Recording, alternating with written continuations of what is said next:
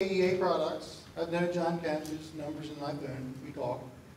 If you ever get a He chance answers to, your calls. usually, well, not all the time, depends. Us- uh, if you ever get a chance to hear John Kempf, do it. I mean, when, when you understand he's an eighth grade educated Amishman, you'll be so much more impressed.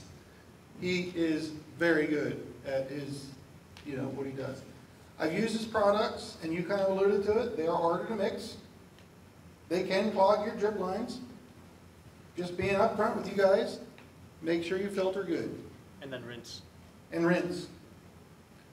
But they're the best smelling products there is, and I could almost drink them if I had to. I'm serious, I mean, The molasses, not the fish. the molasses, yeah, but still.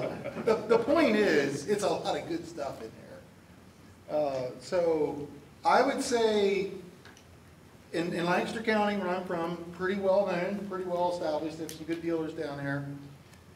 And I just want to put it out there because you guys want to hear it like it is. Some farmers have said those products will bankrupt you. Other farmers have said, I make more money now by using these products than I ever had. What's the take home? If you're a top level manager, these products are for you.